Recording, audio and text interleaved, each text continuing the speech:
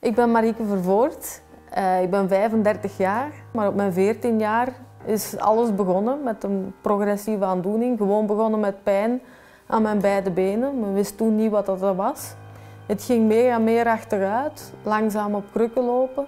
En op mijn twintigste ben ik dan uiteindelijk in de rolstoel beland. En uh, in het begin dacht ik van dat ik niks meer kon, dat ik niks meer waard was. Maar al rollende heb ik terug mijn plan leren trekken. En uh, in het revalidatiecentrum kwam ik voor het eerst terug in contact met aangepast sporten. En uh, in 2012 komt, komen de Paralympische Spelen eraan. En dat startschot kwam en ik heb echt alles gegeven.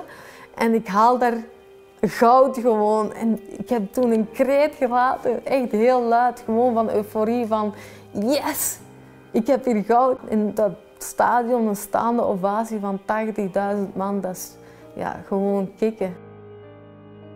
Sinds dit jaar ben ik uh, terechtgekomen bij Herbalife, waar ik me eigenlijk super, super goed bij voel. De smaak is lekker en het heeft een heel groot effect op mijn lichaam. Dus uh, ja, hoe zwaar de trainingen ook zijn, met uh, bijvoorbeeld de, de 24 Recovery Shake, ja, ik voel me daar heel goed door. En, en, voel ik ook dat mijn lichaam veel sneller recupereert dan, dan ervoor. En, niet alleen de 24 producten, maar ook de, de voedingsshake hebben voor mij ook heel, heel groot belang. Ik heb een progressieve aandoening. Ik heb mijn goede momenten, maar ik heb mijn rotslechte momenten ook. En die rotslechte momenten, als ik dan ook geen hap door mijn keel krijg, bij wijze van spreken, zijn de shakes er ook om me eigenlijk uh, er bovenop te houden en me sterk te blijven voelen.